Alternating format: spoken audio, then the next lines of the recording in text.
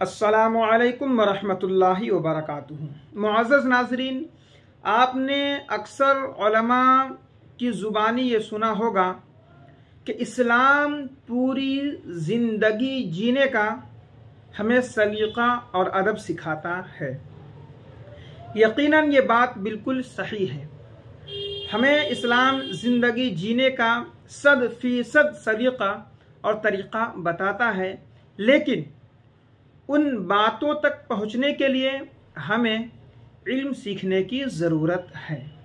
मुआज़ नाजरीन, हमारी ज़िंदगी में बहुत से काम होते हैं और बल्कि हम शुमार नहीं कर सकते हैं कि हम ज़िंदगी में कितने काम करते हैं और ज़िंदगी गुजारने के लिए कितनी चीज़ों का अहतमाम करते हैं। खाना, पीना, पहनना, उड़ना, कमाना, चलना, फिरना नहाना, धोना, सवार होना वगैरह। इस तरह की मुतद चीज़ें हैं जो इंसान की ज़िंदगी का हिस्सा है। तो आइए हम देखते हैं कि इन तमाम चीज़ों में एक चीज़ ये है कि हम लिबास पहनते हैं। लिबास में कपड़ा हो गया, टोपी हो गई, अमामा हो गया, वगैरह। इसी के साथ साथ जूता हम पहनते हैं, चप्पल भी पहनते हैं, मोज़ा भी पहनते हैं। तो देखिए कि इस्लाम ने पहनने के हवाले से चप्पल और जूता पहनने के हवाले से क्या इरशाद फरमाया है। मुआज़ नाजरीन, इस हवाले से हमारे नबी सल्लल्लाहु अलैहि वसल्लम ने इरशाद फरमाया अपनी उम्मतियों, उम्मती से कि आप लोग जूते का इस्तेमाल कसरत से करें। क्योंकि जूते का इस्तेमाल जब तक आप करते रहेंगे, गोया आप सवार हैं। यानी सवार है का मतलब यह है कि आप थकेंगे नहीं। यहाँ देखिए, हुजूर सलाम ने कितने मीठे और अच्छे अंदाज में समझाया कि जूते का इस्तेमाल कसरत से करो, इसलिए कि गोया के आप सवार हो। आपको मालूम है कि जब आप सवारी पर सवार होंगे तो आप थकेंगे नहीं। बिल्कुल सही बात है। अगर आप जानवर पर सवार हैं तो आप तो नहीं थकेंगे। आप गाड़ी पर सवार हैं तो गाड़ी चलेगी, आप तो नहीं थकेंगे, आराम से रहेंगे। तो इसी मुनासिबत से हसूल सलाम ने इरशाद फरमाया कि जूता का इस्तेमाल करो। गोया कि आप जूता का इस्तेमाल कर रहे हो तो आप सवारी पर सवार हो।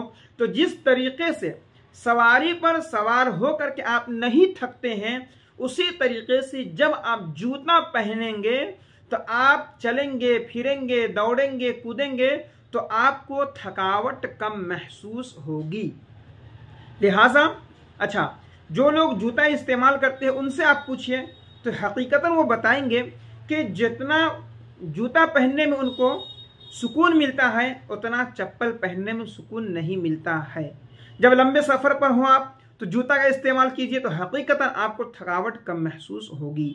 लिहाजा, हदीस पाक को मद्देनज़र रखते हुए, आप अगर फ़ायदा चाहते हैं, थकावट कम चाहते हैं तो हदीस पाक पर अमल करें और जूते का इस्तेमाल कसरत के साथ करें।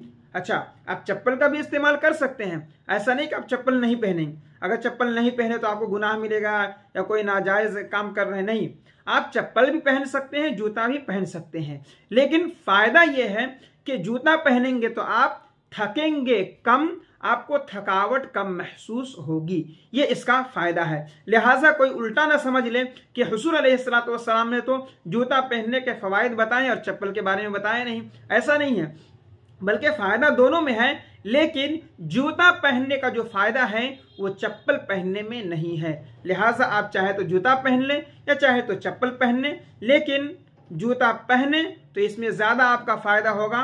और इसका, अगर आप इस नीयत से पहने कि हमारे आकाम का हुक्म है, और हजूर सलाम के कौल पर मैं अमल करूँ तो यकीनन इसका आपको सवाब भी मिलेगा। लिहाजा गुजारिश है कि जूते का अहतमाम करें। असलकम वरहमल वर्का